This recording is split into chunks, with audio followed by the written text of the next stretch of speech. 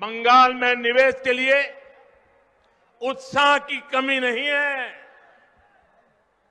मुसीबत है, सरकार ने जो माहौल बनाया है, कट कट कट का जो कल्चर बनाया है, सिंडिकेट के हवाले बंगाल दे दिया है, उसी के कारण ये माहौल बिगड़ता गया है। जब भी मैं विदेश में प्रवासी बंगाली बहनों भाइयों से मिलता हूँ। तो अपनी मातृभूमि के लिए, योगदान देने के लिए, हर बंगाल का बेटा बेटी आज दुनिया में कहीं भी होगा, वो यहाँ के लिए कुछ करना चाहता है। लेकिन उनकी सिर्फ़ एक ही शिकायत रहती है कि वो योगदान करे भी तो कैसे करे?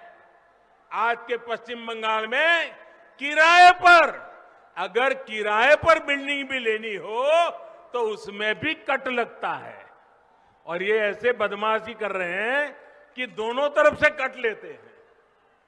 बिना सिंडिकेट की इजाज़त के किराए पर बिल्डिंग भी नहीं ले सकते।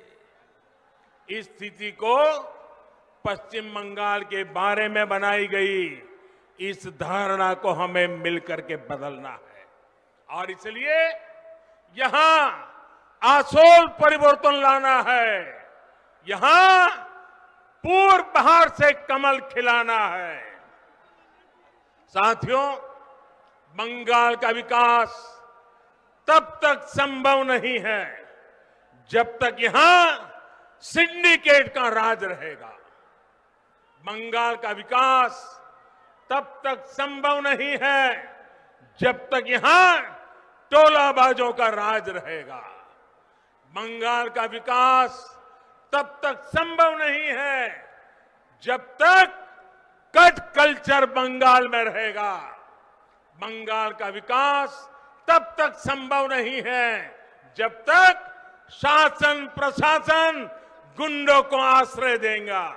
बंगाल का विकास तब तक संभव नहीं है, जब तक कानून का राज पश्चिम बंगाल में स्थापित नहीं होता ये तब तक संभव नहीं है जब तक पश्चिम बंगाल में सामान्य जन की सुनवाई करने वाली सरकार यहां नहीं बनती है इसी स्थिति को बदलने के लिए आज पश्चिम बंगाल के कोने कोने से आवाज आ रही है आर नय अन्याय আর নয় অন্যায় আমরা আসল পরিবর্তন চাই আমার আমরা আসল পরিবর্তন